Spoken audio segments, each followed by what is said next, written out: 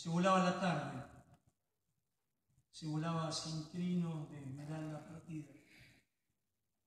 En un rococó del tiempo aparecieron los dos, con una guitarra con sonido de historias guardadas.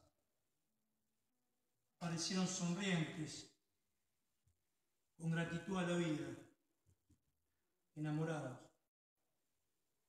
Traían en su alforja vino, pan y una melodía con disponibilidad de albergar palabras.